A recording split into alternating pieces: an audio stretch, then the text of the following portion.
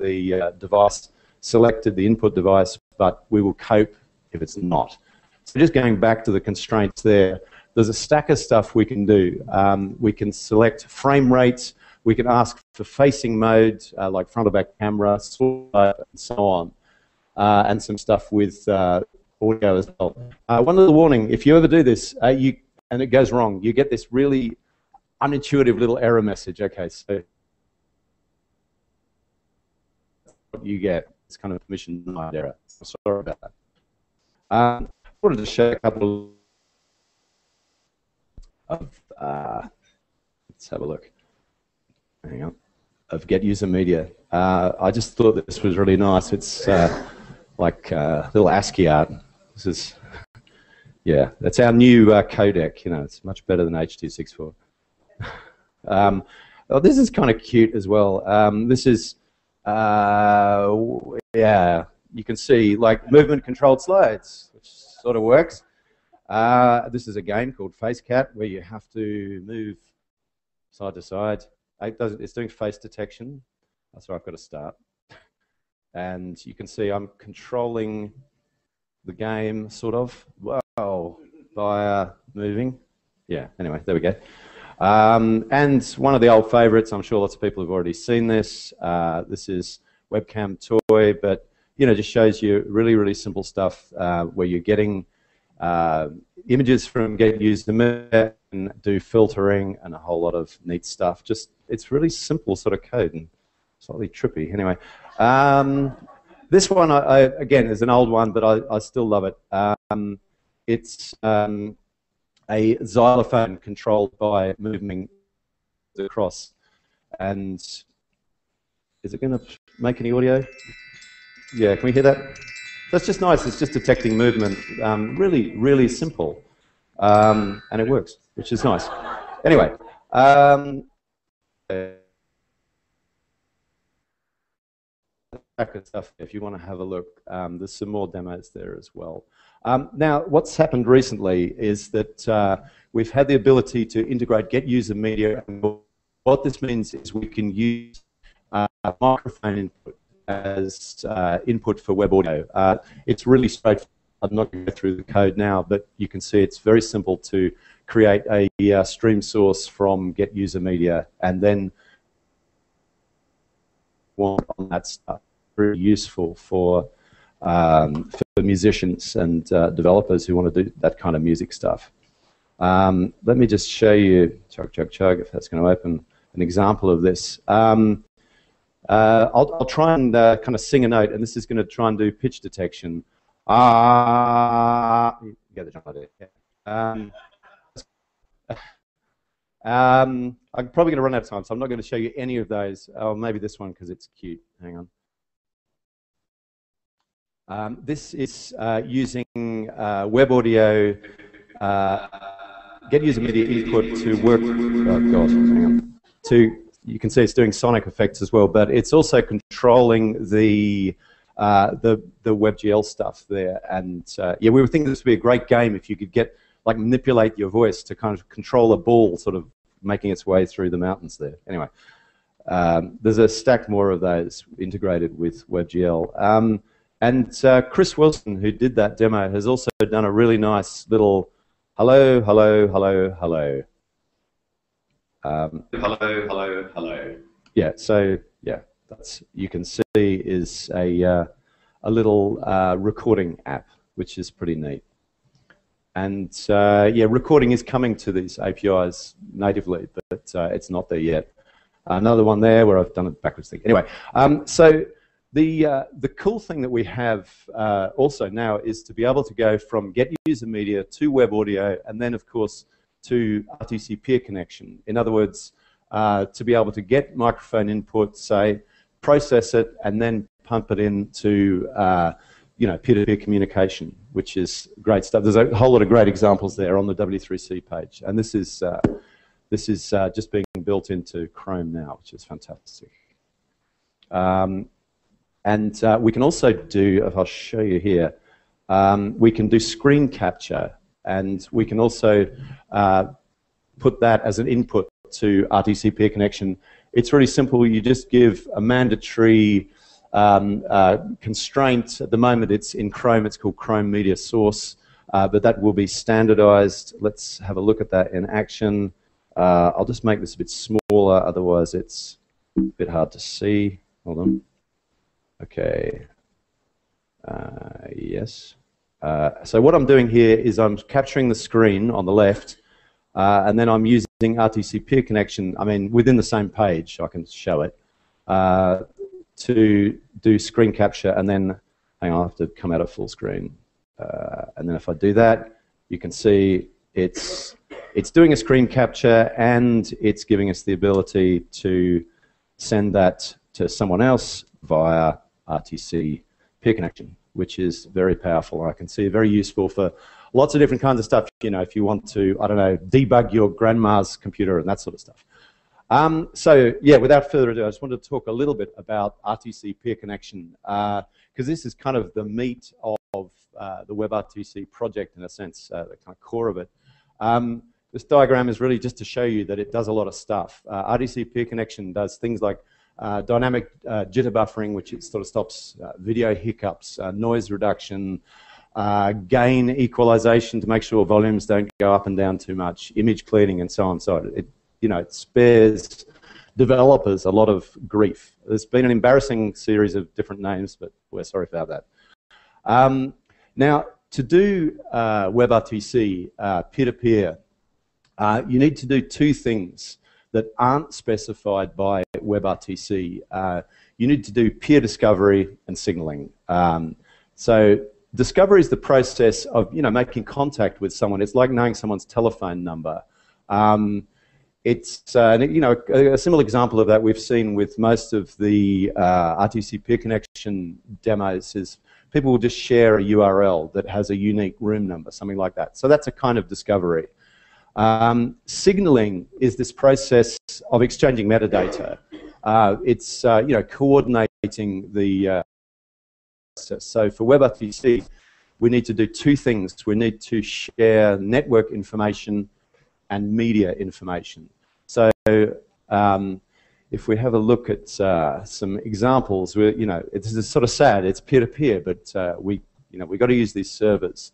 So WebRTC doesn't uh, specify the way that signaling should happen.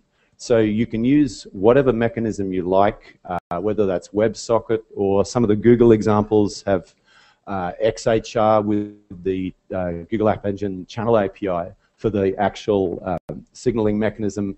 And you can use whatever uh, signaling message format you like. So we've seen SDP, but other people are using, you know, in theory you could use XMPP and so on. Um, but just to be clear, that's not part, you know, that's not specified by the WebRTC project. Um, this is called, this architecture is called JSEP. Oh, this doesn't really show anything except uh, the actual communication of audio, video, arbitrary data is between the browsers peer-to-peer, -peer, but the signaling that you have to do to set up a session is between this kind of magic cloud thing. Um, if we look at uh, this uh, W3C example, um, I think this is, by the way, this is a, the link is there. This is a really nice, simple example of how to use RTC peer connection. Um, I'm not going to run through the whole thing, but uh, essentially what happens here is the uh, uh, if the if the if the uh, the creation of the RTC peer connection object is successful, um, on ice candidate is called, and that has information about network stuff, and you can send that in the, this, we have this kind of uh, you know, assumption that there is a signaling channel here, and uh, that's the network information that you will send to the person you want to communicate with. And then if we look in the section down the bottom here, that's kind of readable. Um, in the in, after the get user media uh, call is successful, um, we do what's called create an offer. What this means is uh, use peer to connection to create some information about the capabilities locally. So what kind of uh, what kind of media we're thinking of communicating, what kind of media we can handle on the way in, so codecs and so on. Um, and then we can send that to the remote, uh, the callee, um, whatever we call them, the receiver. And uh, on the other end, if you're the person being called, you do what's called create an answer. And essentially, that's doing the same thing in reverse. So giving the coalition about your media capabilities. So once we've created this RTC peer connection object, we've uh, got the network information and shared that, got the media information both ends and shared that, then we can uh, set up a session. Um, now, yeah, so there's the signaling process, like I say, which is that, and uh, then there's the process to uh, make an offer, which is about media. Um, there's a really uh, simple version of this on one page at uh, simpl.info slash PC, which doesn't do any signaling. So if you just want to get into peer connection, that's a good place to start. We've, this is great. We've now just very recently in Canary got uh, WebRTC internals. So this is debug information about what's going on in a WebRTC session. It's very detailed and incredibly useful if you're trying to debug kind of deeper problems with, with WebRTC. Uh, the canonical example of uh, communication with WebRTC, RTC peer connection is at apprtc.appspot.com and you can use this between Chrome and Firefox and, uh, and Chrome and uh, Chrome for Android as well. I just want to check how much time I've got. About 10 minutes. Cool. That's great. Okay. So RTC data channel. Um, this is it's kind of uh, taking some of the power of, of, peer connection and giving us the ability, though, to communicate arbitrary data. Um, this is obviously really, really useful for things like gaming. Um, I kind of imagine, too, you know, like these really fantastic sort of scientific applications for this. Like you could have, imagine like a, if we got a Raspberry Pi running like hardware accelerated Chrome somewhere out in the ocean on a fiber cable, um, you know, getting some data about water temperatures and then sending that back in real time via RTC data channel to a receiver, you know, in Lyon. That would be really cool. So it's very, very low latency. It's as low, late, as low latency as possible, we hope, between two peers. So wherever possible, communicating this data peer-to-peer. -peer. The API is very like WebSocket, but of course, because there's not the kind of trip via the server, it should, you know, when all is well, things uh, should be much quicker, less hops, lower latency. Um, there's this concept of unreliable versus reliable uh, exchange of data. So, uh, for example, thinking of games, uh, you may want to compromise and not, you may not have to have reliable transfer of data for stuff like game positions. Uh, you want the speed more than you want the reliability. Whereas stuff like file transfer, obviously, you know, you can't lose bits on the way. It's not going to work. So for that, you absolutely have to have uh, reliable data sharing, you know, networking, and uh, the the payoff is that that may be a little slower. Um, there's a very simple example of of uh, in fact, let's show it now. Here, get rid of that one. Um, again, this is simpl.info slash DC. Uh, this is kind of nice because it's, again, it's on one page, so there's no signaling. It's sort of, it's completely useless, but, you know, you can see one peer connection communicating with another. Uh, and if we do send, yeah, you can see magic. You know, we've got, yeah, text being communicated via RTC data channel within one page. So kind of, yeah, kind of useful stuff. Um, there's the API. You can see it's uh, it's actually, once you get your head around signaling and peer connection, it's, it's really pretty straightforward stuff. Um, and it is quite WebSocket-like. Um, I just wanted to show another demo. Uh, if we got this up and running. Somewhere here. Yeah, there it is. Uh, so ShareFest has uh, built this uh, app for file sharing using RTC Data Channel. Uh, we could drag something on, or we can just click there. I'll select a file. Got this little file here, this little picture, and it's doing something. It might work. Uh, so what it's trying to do is do file sharing with this file. Come on. It's thinking about it. no, maybe we try one more time. Let's just try again. Might be a bit tricky here. Okay, try again. Here we go. Okay. And if we open that in a new tab, let's have a look. Hopefully. Okay. We'll try and get the, there it is. Okay, so we've got the file that's been transferred. I know it's just from one tab to another, but it is, you know, via the internet. And let's just see if it worked. Yes, there it is, this lovely peacock spider. They're actually about that big, which is cool. lovely Australian spider. Anyway, um, sorry, that's probably a bit creepy, really. uh, okay, let's go back from these and get rid of that and the lovely ASCII art one. Um, so great stuff with RTC Data Channel. Um, there are two other things that, uh, that WebRTC gives us. Um, the, like I say, we need servers for user discovery, communicating between users, uh, and for signaling. We also get the ability to use uh, something called Stun. Um, Stun servers give you an external view of your network information. So in other words, uh, IP addresses, ports, and so on, so that people can contact you um, even if you're behind a firewall, uh, you know, NAT, whatever. Um, uh, turn servers um, are there so that we can, if all else fails, we can go via what's effectively a relay server.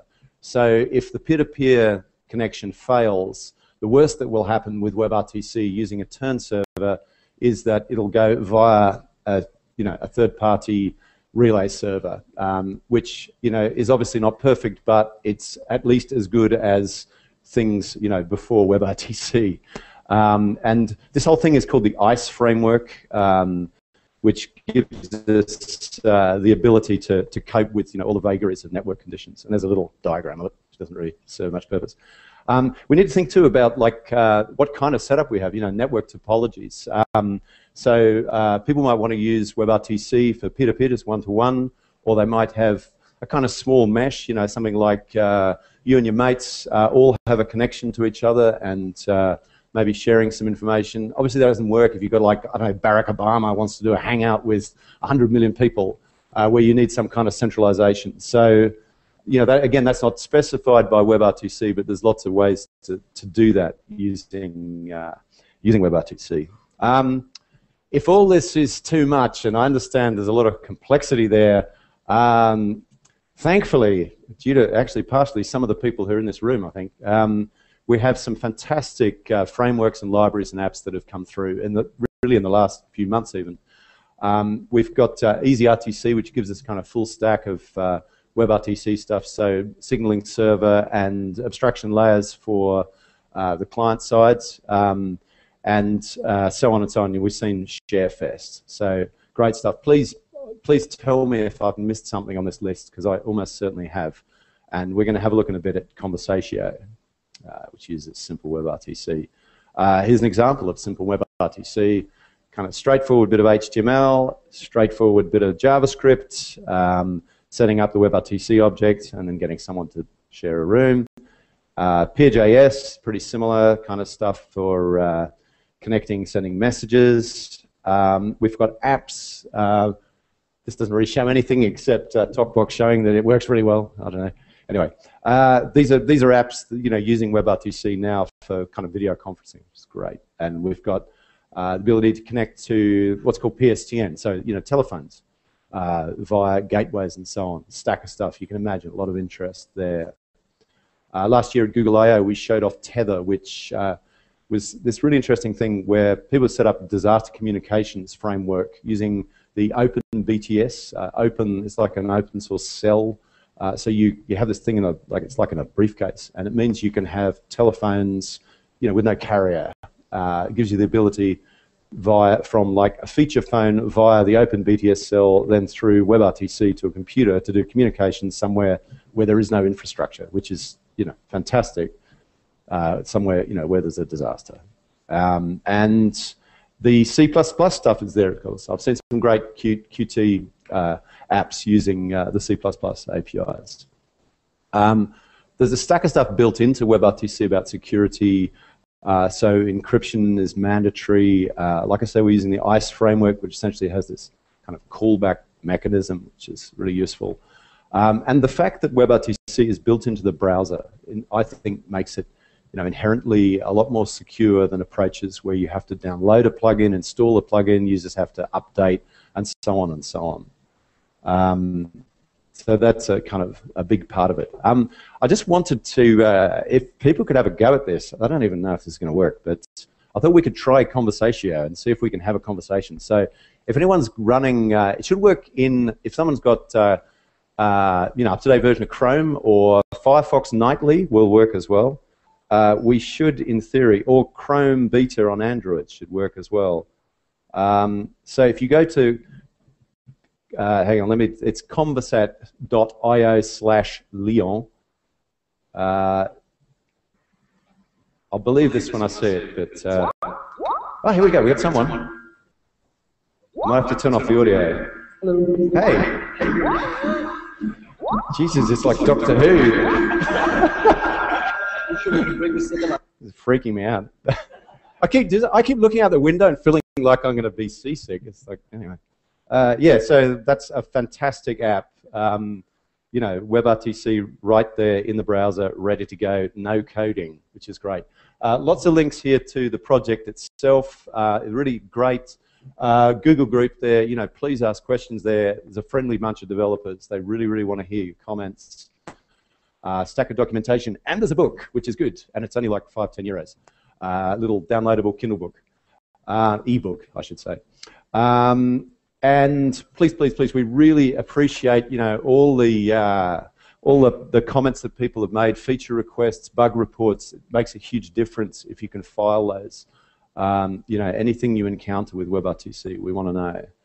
Um, you know, what, what's, what I really like is, is this idea that we've got like people from all kinds of web development, especially, and you know, people working with JavaScript who are getting this stuff, kind of moving it out of just the realms of telephony. I think that's what's really interesting. Some of the big companies over the last year um, have been, you know, doing great things uh, with WebRTC, but you know, they're web companies. They're not essentially VoIP companies or telephone companies. And that's really, to me, is really exciting to see what, you know, like developers are going to do with this stuff.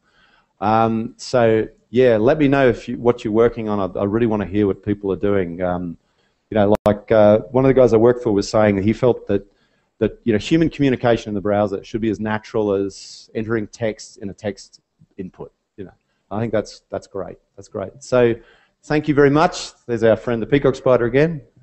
And yeah, slides are here, and please feel free to ask me any questions. I'll be around today and tomorrow, or email me.